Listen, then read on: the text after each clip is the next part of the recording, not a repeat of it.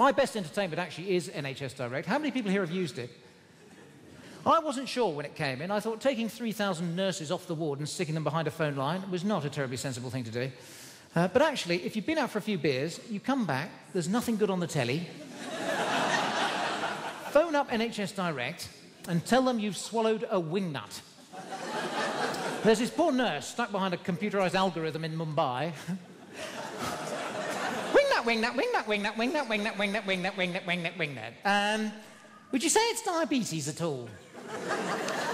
Endless hours of fun for all the family, but I'm not sure it's the best use of NHS resources.